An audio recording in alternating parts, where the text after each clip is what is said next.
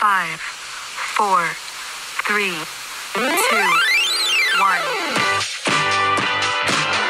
It's Big Kid time! Good morning. We're so glad you joined us for BKids Time today. We can't wait to grow and learn with you today.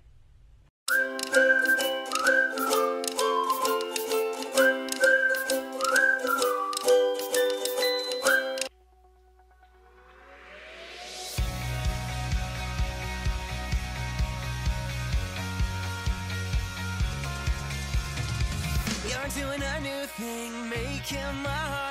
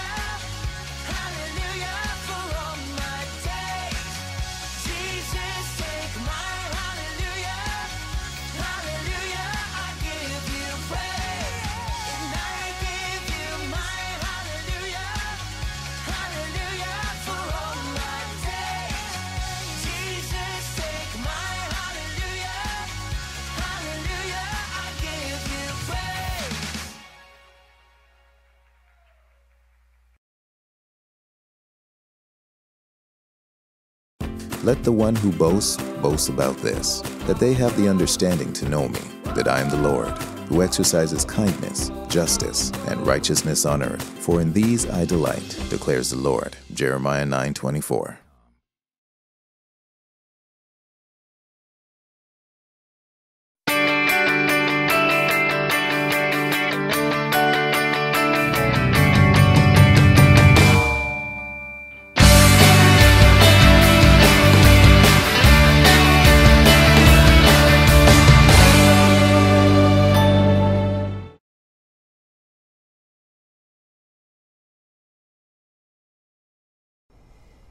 Don't you just love it when you get a gift that you did nothing to deserve?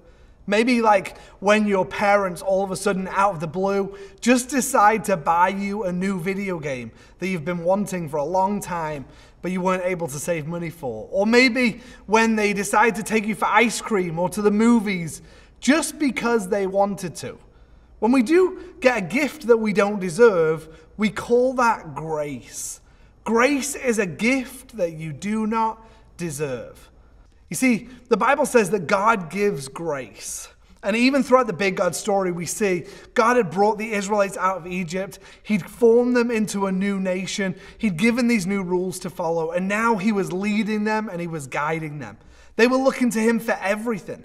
And the Bible shows us how God gives grace, how God gave them these gifts that they didn't even deserve. You see, God, every morning they'd wake up and they'd find food on the ground called manna. God provided for them. God gave them water when they needed it. He, he helped protect them from enemies and from wild animals. God led them through the desert and towards the promised land. God helped them even when they complained. And you better believe they complained. They said things like, the food in Egypt was so much better than the food we get here. They complained and said, God, we wish we had never been brought out of Egypt. We wish we were back in Egypt. And even through their grumbling and complaining, you know what God did? He still gave them the food they needed. He still gave them the water. He still led them and he still protected them. God even brought them to the border of the promised land. And the people, they decided to send in spies to check in the land and to report back to the people. God had prepared this wonderful place for them, but many of the spies came back and all they could do was complain about it. All they could do was see the negative sides, the bad things. They couldn't see that God had been for them and God was preparing the place for them. Only two of the spies had anything good to say. You see, God gave grace to his people over and over again. He gave them good gifts and good gifts and good gifts. But you know what? They didn't always accept God's gift with a thankful heart. And because of that, the Bible says that, that God made a tough decision. He said that none of this generation was going to enter the promised land because they had rejected God's good gift. That meant that the Israelites, they spent many years wandering around the wilderness, waiting for the next generation that God had promised to bring through to the good new land, to the promised land. You see, God wants to give us grace too. He wants us to trust Him. He wants us to follow Him and love Him completely. We have to choose whether we're going to accept His goodness, whether we're going to accept His grace, or if we're going to reject it.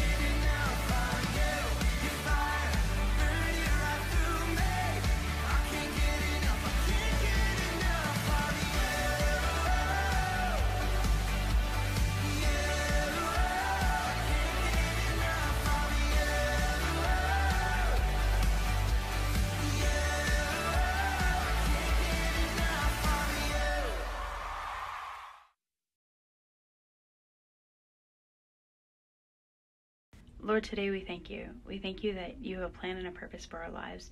We thank you that you give grace. We thank you that just like with the Israelites, when we make a mistake, Lord God, that you forgive us and that you have just a way of helping us to see your will and your way. And Lord God, we just pray that you would help us to remember that your love is so much bigger than the mistakes that we make. God, we pray that you would help us to know that you love us and that you care about us. In your name we pray. Amen. We are so glad you joined us today, and we hope you learned something new. We can't wait to hear from you or see you in person. We love you.